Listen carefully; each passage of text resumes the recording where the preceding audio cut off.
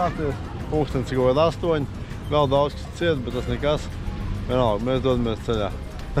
Mēs pirmo reizi esam pie jūras braucienā. Man liekas, ka vajag nopeldēties. Es esmu bijis Barcelonā iepriekš, tas kaut kāds 13. gads vai bija. Man nezinu, man liekas, ka kaut kā viss izstījās labāk. Bet sevišķi pludmales.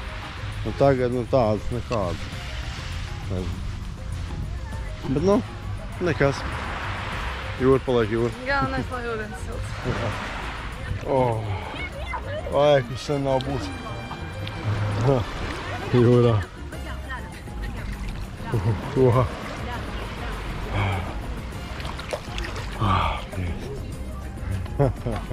Kas ir? Es Mam negribu- disko priecīgi. Es negribu matus slapināt. Tā vēl ir dušas.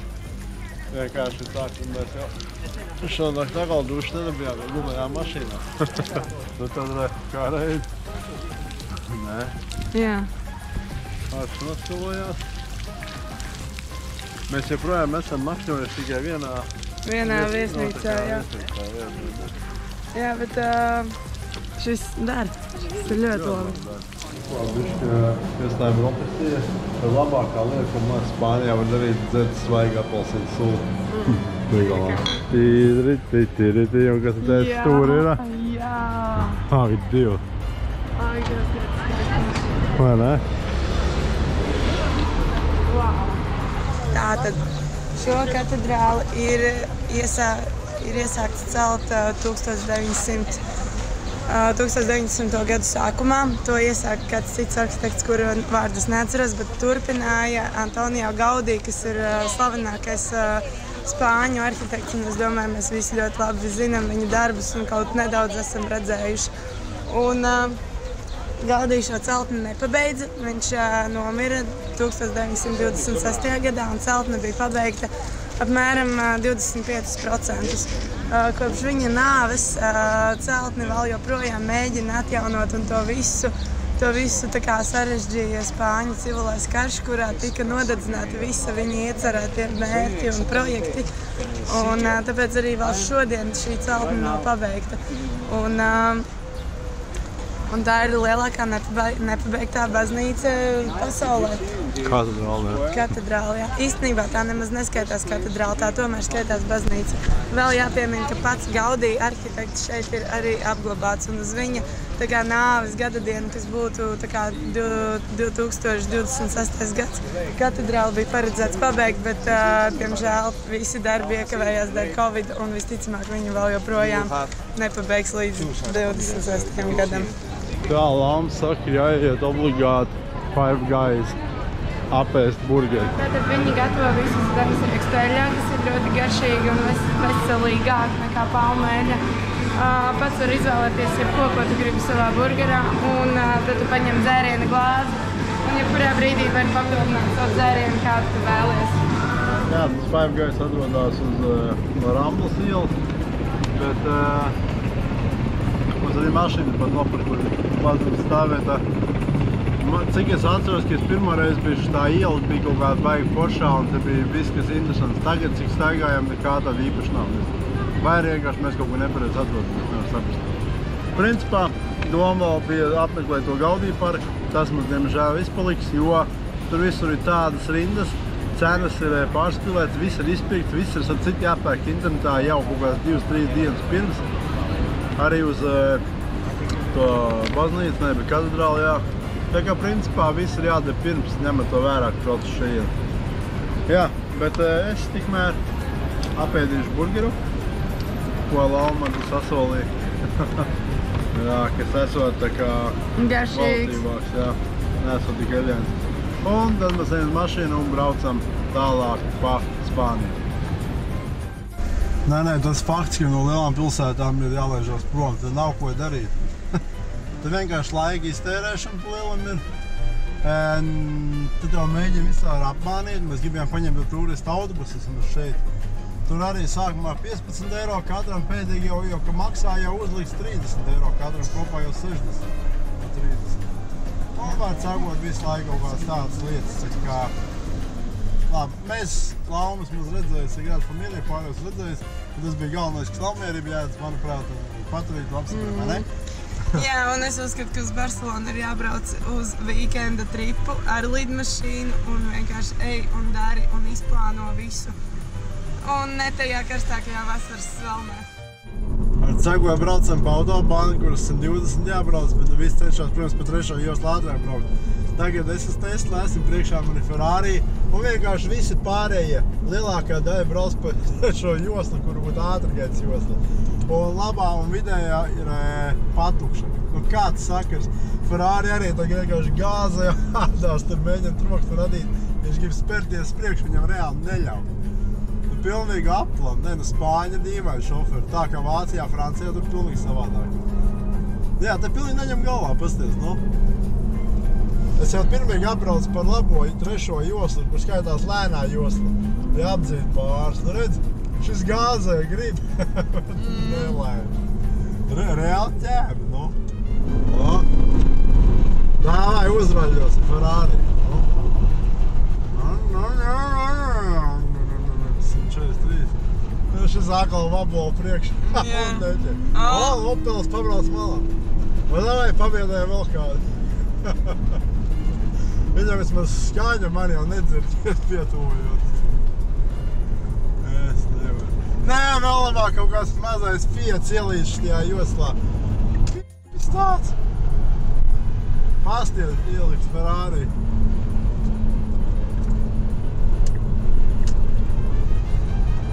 Šeit tā tas jādara, pa labi, pa kreisi. Piestājām bišķi pavādēt reku.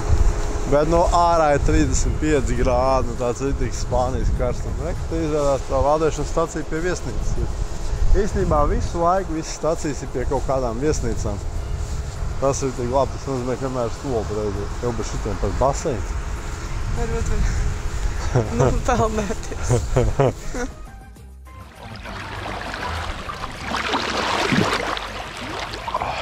Ir tas, kas nepieciešams. Šī karstajā dieniņā, vai ne? Liekas, kamēr mašīna lādējā. Viss pa veltu klausies. Pat basēni pa veltu. Ēdienas ar pa veltu vīnu mums pieēdās. Nē, pa Eiropu ceļot arī diezgan lēti vēlas. Un galvenais ir nebraukt uh, uz lielu pilsētu. Jā, nu tur, tur vienkārši ir iebersties. Tātad mēs esam ā, ieradušies Saudāru Dalī muzejā. Šobrīd uh, gaidām rindā pēc biļetēm, bet tikmēr es pastāstīšu, ar ko šis muzejs ir īpašs un kāpēc, kāpēc mēs te esam atbraukuši. Principā, principā tas man no bērnības ir mans mīļākais mākslinieks un man vienmēr ir bijis sapnis šeit nokļūt.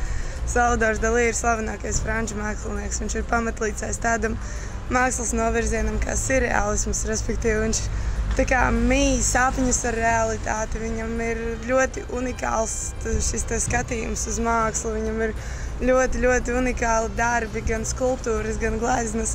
Un šo muzeju viņš ir izveidojis pats priekš sevis. Pats priekš sevis ir uzbūvējis muzeju. Un uh, jau, jau mēs redzam, re, kur olas uz jumta, milzīgas olas. ta- ta- Tas viņam tā kā parādās daudzkārt viņa mākslā, jo tas ir kaut kas, kaut kas tāds, ko mēs ikdienā un, un tā kā realitātē nespējam iedomāties, bet kaut kas tāds atbilst arī sapņiem. Un visa siena ir tā kā nolīmēta ar tādiem ķieģelīšiem, kas ir maizes formā. Un, uh, jā, es, es esmu ļoti excited. Jau es biju gaidījis no dalībiem. Viss ir ārkārtīgi krāšņs, ārkārtīgi dažāds, daudzveidīgs. Zelta skulptūras, mašīna, gliemeža vāki, sabruģēti kaut kur, kaut kādas dīvainas, vecas skulptūras, kuģis, kuģa masts, sieviete ķēdēs. Viss, nu, tā kā, viss čumuļu noģi un tas, tas kopā izskatās ļoti, ļoti iespaidīgi, manuprāt. Kā tev patīk?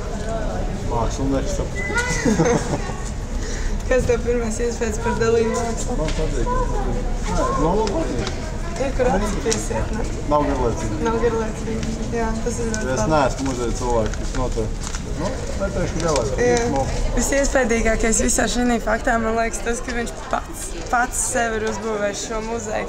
Viņš pats nāk no šīs pilsētas, tepat netālu dzīvo un vienkārši priekš sevis uzbūvēja muzeju. Viņš bija tik pārliecināts, ka viņš būs tik ļoti ietekmīgs cilvēks un mākslinieks mākslas vēsturē, ka viņš jau savas dzīves laikā to visu ir izveidojis. Tas ir apbrīnojami. Un tagad mēs esam iekšā milzīgā kupola istabā. No. Wow. Paskaties. Ak, Dievs. Ak, Dievs. Nu, viss, nu, viss ir ļoti skaisti. Tagad, piemēram, tā ir tā glazna, kur viņš ir uzzīmējis savu stilu. Viena no gala skatās pa logu tālumā. Bet, ja mēs ļoti, ļoti Ā, jā. saliekam acis, tad tas ir, man liekas, ka tas ir uh, Linkolns. Jā, jā, jā, ir kaut kas tāds. Es teiksim, kamerā taču redzēju Linkolnu. Tagad es pietuvinu jums, tagad es redzu galu. A tā sākumā izskatījās pēc Linkolna. Mamma stāsta, ka šitās esot īstās. Saprast. Rāms tāds vienkārši. Varēja būt labāk rāmā. Rekord ir viena no populārākajām galīgi gleznām. Viņa paša pašportrets. Un šitai te, es teiktu, ir ļoti jauks rāms. Bet ļoti labs krāsas, man patīk tā. Patīk smuks sakombināts. Ļoti Iet ļoti labi kopā ar eh, rāmu arī. ļoti dzīvīgs rāms arī. Nē, nē, tas smagi vairs nevajag. Rekord mēs varam redzēt dalīt dzīves norieta darbus 79. un 80. gads, kurā viņš, viņš vienkārši pievērsās tādai senās mākslas pētīšanai un viņš mēģināja izvilkt to, tos pigmentus, tos toņu dziļumus un mēģināja spēlēties ar, tām, ar kompozīcijām. Un tieši tajā brīdī, arī 80. gados, sākās digitālais laikmets. Un, un te mēs varam redzēt, ka viņš dzīvoja savam laikam drusku pa priekšu, jo tā jau tā kā izskatās pēc kaut kādiem 3D Photoshop pirmsākumiem, kaut kas tam līdzīgs. Muzejs ir beidzies. Beidzies viss, tagad No, varēs no, braukt uz pludmalēm. priecīgi? Jā, Tiešām? jā, paldies. Paldies, ka tu biji kopā ar mani šajā fantastiskajā filmu muzejā. Nezinu, kā jums, bet tas galvenais bija domāts laumai. bet ne, kā tev muzejs ir foršs. Nē, nu, ir muzejs ir foršs, protams. Atnākt var. Ja, ja interesē tāda veida māksla, nu, droši nākat Man un skatieties. viņš ir daudz interesantāks par jebkuru citu muzeju, kur, kurā tu esi bijis. Nē, nu, viņš ir smuks, viņš ir smuks. Savs ir, jā. Bet labi, mēs paklaņājam tagad pa pilsētu un tad skatāmies, kur mēs tālāk. Tā, tagad Loma braucam pa piekrasti šādu. Satrodamies starp Franciju un Spāniju. Šobrīd skats izstāsts šāds. Īsti kaut kāda mērķa nav, vienkārši gribējās nost no bāņiem, vienalga kaut kādu random ceļu. Un izskatījās ļoti interesants, par cik vienkārši piekrasti un jūra un kalnu un vispārējais. Jā, Bez šaubām ļoti interesants ceļš. Tieši gar uh, jūras krastu, lejā uz pilsētiņu, pakaļ uz kalniem. Nu tā, ne, nekur tā neesmu braukusi tik uh, interesantā vietā. Tā kā jā, braukāsim, skatīsimies, kas te ir. Doma ir atrast pludmali. Un pats interesantākais šobrīd ir tas, ka mēs iebraucam Francijā. Nu, tiek viena pagaršošana tagad. isso? Não. Por causa já. Ó. Hum, gente, minha gente. Mas olha, meu valor. Беш на обштел. Жадика я брал. Кавара это пелый пес. Это ведь сорком видит. О, ça je suis o mais à ce moment-là, on va Mais ça, c'est parce que là, on a c'est pour ça. Kāds interesants. Nu, man baltais daudz Jā, labāk. N'aurait pas dû se bousculer. Nē, bet viņam ir ļoti interesanti bousculer. Tāds pēc mucas, nedaudz pēc koka. Ne. Labi. Re, kur tajā mazajā bodē. Ieķērām vīniņu. Ieķērām, jā, un nopirkām arī Baltiju. Padinām laumu saldējumus, nereāli daudz dažādu veidu. Arī sorbērti, tur vēl ir. Es ierosinu tā, ka paņemam tādus, ko nekad neesam ņēmuši. Bet sakot, man ir plūmju, secināja labi. Un kas ir ļoti interesants, ir eh, citrona bazilika sorbērts. Mēs īstenībā nezinājām, ka kasis ir plūmes. Jā, mēs vienkārši ņēmām uz dolo, kas tur ir. Tas nav plūmes, tas Nav? ir upenes, man liekas. Var vår Opens. Nu Fagersjön på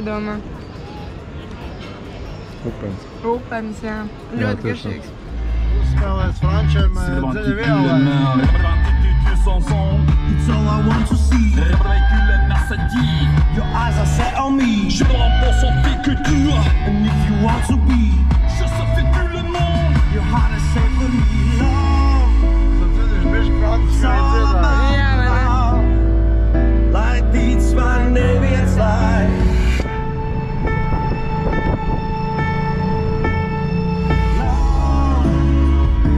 It's all about love Nē, nē, nē. Mēs savu laumu tomēr dodamies peldēt. Šī diena vēl nav Vēl beigusies. nav galā, jā.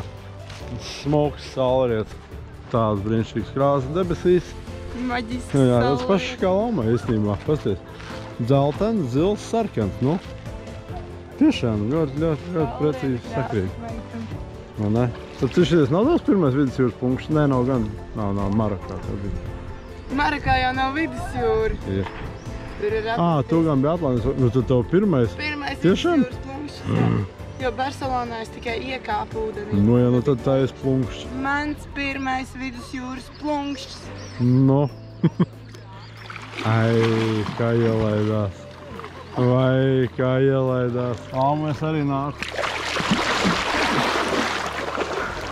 Nu ko, es domāju, ka šādi mēs varam noslēgt šo dienu šeit. Vidusjūrā ar Laumas pirmo vidusjūras plunkšķi. Un varam jau tikties pavisam drīz citā video. Tā, tā. Un pats foršākais tas, ka mums līdzi joprojām ir vienogas. Bišķis, bišķi saplacinājušās. Bet garšo tikpat labi. Mm. Visur zīmes, visur aizliegums, sētas sabūvēts. Bet, jau neesi Latvijas, tu to ko negribi.